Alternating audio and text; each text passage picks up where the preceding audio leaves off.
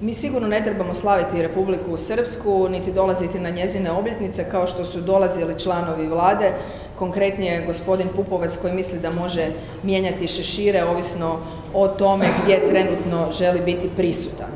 Međutim, ono što je možda građanima Hrvatske koji ne poznaju dovoljno situaciju u BiH malo teže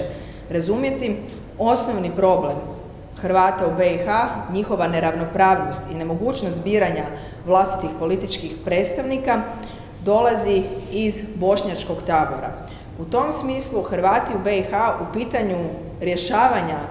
problema svoje nezavidne političke situacije osuđeni su na suradnju s Miloradom Dodikom, odnosno predstavnicima Republike Srpske. I tu, da bi se osiguralo Dayton i konstitutivnost svih triju naroda u BiH, treba surađivati sa svim narodima koji tvore BiH i u tome ne vidim nikakav problem. Dapače, Hrvati su tu imali puno manji problem s Dodikom nego što su imali s bošnjačkom većinom koja kontinuirano guši prava Hrvata u BiH, a budući da hrvatska politika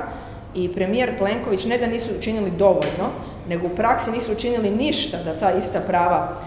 zaštite, samo se vole dičiti nekom ozbiljnom diplomacijom